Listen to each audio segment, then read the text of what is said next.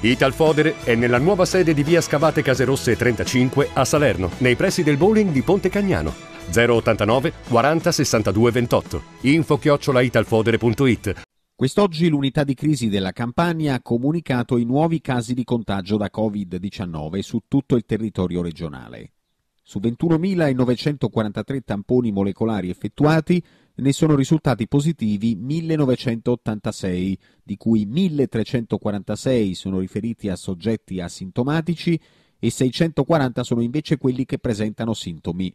Sono 33 gli ultimi deceduti registrati, ma i guariti sono 1871. Sui 656 posti letto disponibili in terapia intensiva ne risultano occupati 137 e invece i posti letto di degenza occupati sono 1462.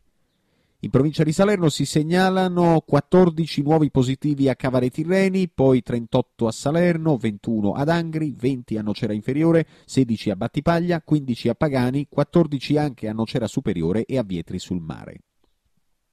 Intanto continua la campagna di vaccinazione anti-Covid e per i cittadini cavesi si aggiunge la possibilità data dall'azienda universitaria e ospedaliera Ruggi d'Aragona di ricevere il vaccino anche all'ospedale San Leonardo di Salerno. Già avviate le convocazioni e il sindaco di Cava Vincenzo Servalli, attraverso una nota, ha ringraziato il direttore generale Vincenzo D'Amato. Nel frattempo, proprio stamattina, il prefetto di Salerno, Francesco Russo, ha tenuto una riunione del Comitato Provinciale per l'Ordine e la Sicurezza Pubblica, avente all'ordine del giorno proprio il rispetto delle ordinanze per il contenimento del contagio da Covid, con l'entrata della campagna nella zona gialla. Hanno partecipato anche il vicepresidente della provincia di Salerno, i sindaci di Salerno, Battipaglia, Cava e Nocera Inferiore, i presidenti della Confcommercio e della Confesercenti di Salerno e i vertici provinciali delle forze di polizia.